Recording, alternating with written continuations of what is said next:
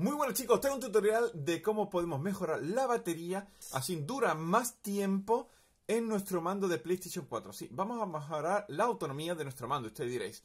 Pues ¿cómo se puede hacer? Y se puede hacer, sí se puede hacer, nosotros lo hemos hecho. Y bueno, os voy a traer un tutorial en la cual pues vais a conseguir minutos, incluso alguna hora extra gracias a este video tutorial. Bueno, primero tenemos que localizar dónde eh, vamos a modificar esto. Tenemos que irnos a ajustes, dentro de ajustes, dispositivos, dentro de dispositivos a mandos. Y bueno, ustedes más o menos tendréis hecha esta configuración, ¿vale?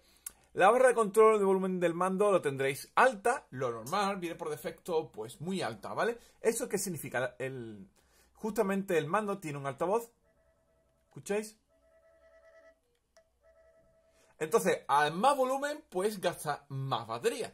Yo recomiendo que tengáis eh, por la mitad o menos, ¿vale? Ya así se escucha perfectamente. Nosotros lo hemos tenido mucho tiempo así y ha durado bastante más que tenerlo así, ¿eh? La verdad es que se ahorra bastante. Pues nosotros lo vamos a colocar por la... poco menos de la mitad. No así, ¿vale? Pero más o menos así. Yo ya aquí estoy escuchando ya el mando, ¿vale? No hace falta que tenga un volumen demasiado fuerte. La mitad, un poquito menos, aproximadamente un 40%.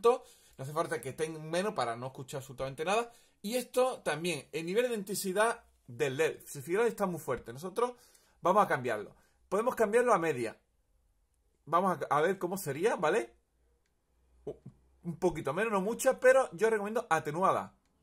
Que es la que menos eh, se ilumina, ¿veis? Más o menos vais a ver ahora la iluminación de este tipo actualmente. Mira, vamos a cambiarlo para que podáis ver. Eh, vamos a manejarlo para arriba. Para que veáis la diferencia. ¿Veis? Que es mucho... Eh, brilla bastante más. Si nosotros lo ponemos atenuada, vais a ver la diferencia, ¿eh? Mucho menos. Entonces, esto también consigue minutos extra, ya que el LED que siempre está encendido no está tan fuerte. Luego, el volumen, evidentemente, si lo bajamos a un 40%, si lo podéis conseguir a un 30%, es mucho mejor. Os va a durar aquí mucho más la batería. Y se va a escuchar también, ¿eh?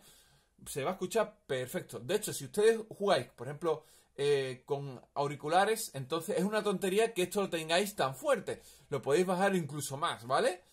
Así que, porque no afecta. Esto es el volumen relacionado con el mando. Y si ustedes tenéis unos auriculares, pues esto prácticamente no lo vais a escuchar. Si lo tenéis muy, muy, muy, muy, muy alto. Una tontería, una verdadera tontería. Simplemente lo ponemos por aquí, ¿vale? Y ya está. Y esto, sobre todo, atenuada para que mejoréis más los minutos. Entre otro, pues podemos conseguir que aguante una horita más aproximadamente el, mando, la duración de la batería del mando. Aquí concretamente, si nosotros desactivamos vibración, duraría todavía mucho más. Lo que pasa es que, claro, le quita esa gracia de la vibración con el mando. Nosotros lo vamos a poner, pero si ustedes queréis todavía ahorrar más batería, tendríamos que quitar activación de vibración. Y ya conseguir por lo menos otra hora más sin problema ninguno. Hora, hora y algo, porque la vibración consume mucha batería, ¿eh? Consume muchísima batería la vibración. Pero bueno, si ya no si no queréis tener tan capado, tan restringido el mando, pues simplemente toquen este y este, estas dos opciones, ¿vale? La vibración la dejáis, toquéis este, dejadlo un poquito solamente y este atenuado. Pues nada chicos, espero que haya gustado este video tutorial. Guarden un favorito, den su like, que ayuda bastante y hasta la próxima chicos.